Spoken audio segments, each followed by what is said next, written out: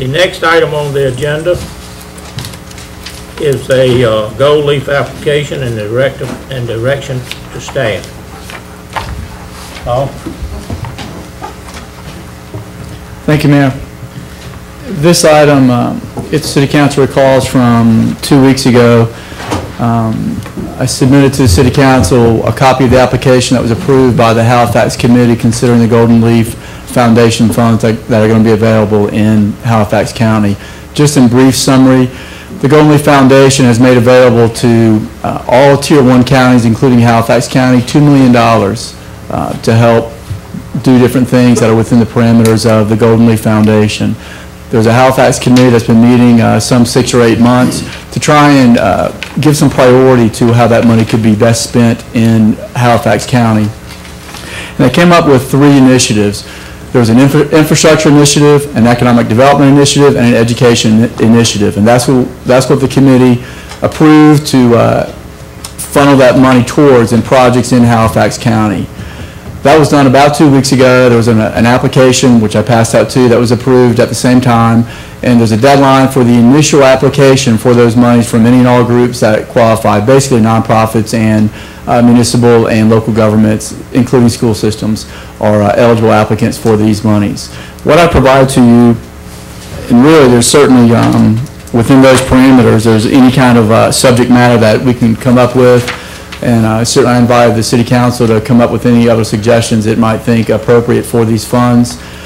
I came up with two recommendations after speaking with Chris, um, who's been to a lot of those meetings, and certainly Lori and Kathy Scott from the Economic Development Council in the county, and they've been working really hard and closely with this group to come up with some good ideas certainly um, Roanoke Rapids has got to take care of Roanoke Rapids, and so you want to, you know, I think we have to be careful and, and, and should be careful with uh, making sure the money will be well spent here. And I think there's a concerted effort, and it should be applauded, to kind of use this money in a way that's going to benefit the entire county, not just one area, one project, or one part. And in that regard, what I've recommended to the city council to consider, and it's, it's far from complete, that's for sure, but the principle is, let's come up with a Main Street initiative, which you know we're making an application to the state for Main Street proceeds that will help us with professional planning and um, gears towards some grants. That's really just a start on that program.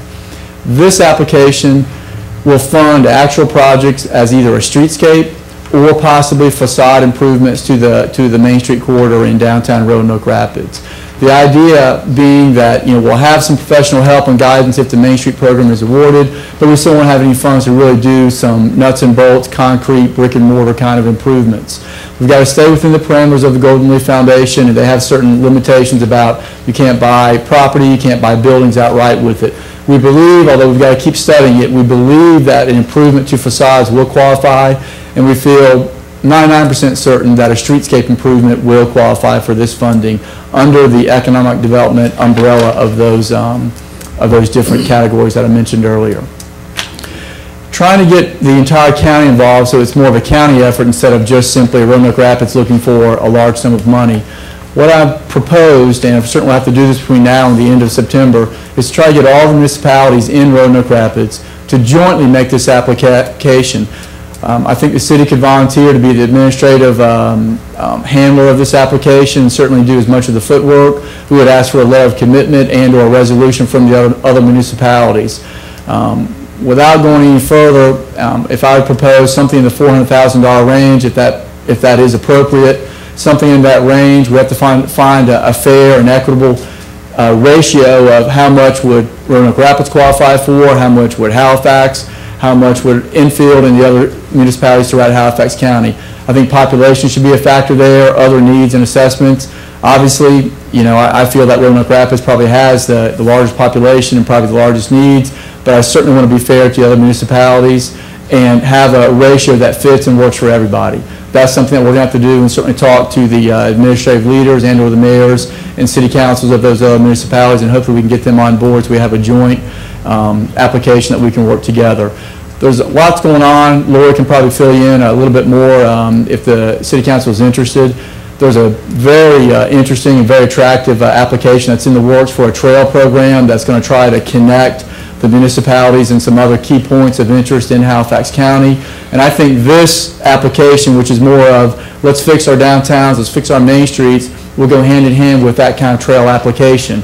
You know, if you got a trail going to municipalities, when you get there, you don't want to be disappointed. And we want to make sure that we can clean up our main street, and all the other municipalities can do the same thing to make it a very attractive uh, visit to Halifax County.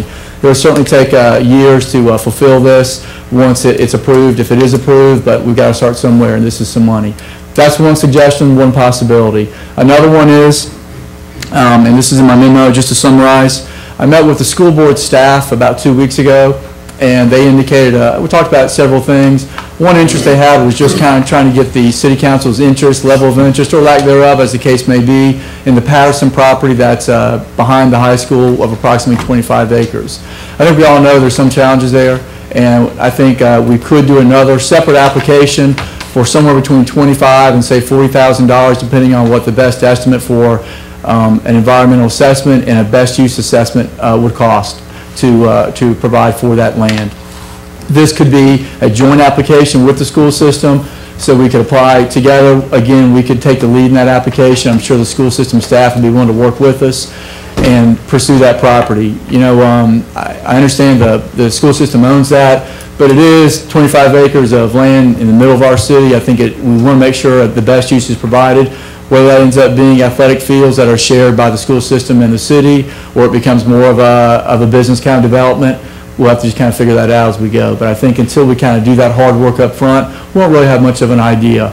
And if Golden Leaf will help us fund that, that would certainly would be a, a good shot in the arm, I think, for that project. And again, that would, I think, fall clearly within that uh, economic development um, arm of the Halifax County slash Golden Leaf um, funding. And certainly, item number three is, any other good ideas the city council has that'll fit under those, uh, those, those three arms of the application. And certainly, I think we're all, all ears here, and, and if you have anything we can pursue, we'll be happy to. The authority I'm looking for from city council is direction to pursue one or both of these, or any other kind of subject matter for the grant. I've spoken with Lori and also with Michael Scott, and they have both volunteered graciously to uh, perform these applications, conduct them for no charge for the city, and I certainly recommend we take them up on their, on their services. In fact, I'm meeting with Michael Scott tomorrow, uh, tomorrow afternoon. Chris is going to be there at the meeting, to kind of go over um, what the, um, the city council has authorized us to pursue and get started pretty quickly. As I mentioned, they're due by the end of the month, so we've got to move pretty quickly. If we get that authorization, I'd like to be able to bring you back at least a draft application in two weeks at our next regular meeting. So with that, I'll stop talking and see if you have any questions, comments, and please, if you have any detailed questions, we'll turn those over to Lori, since she knows a lot more about that project than I probably do. Thank you, Paul. Does any uh, councilman have a question for Paul? I don't have a question. Uh, Paul, I think you have two, uh, two great ideas, and uh, I appreciate your, your help, Lori. And uh, I, I say, go for it. That's uh, two good ideas, worthwhile, and uh, I'm all for it. Laura, would you like to comment you you or Alan, either one? Just to, just to let you know that, um, the, especially the Main Street facade improvement program really dovetails really wonderfully with the trail program. We've been working, been thinking and planning for several years on doing a trail that takes you, um, through the county, basically following the river and spurring off into each downtown.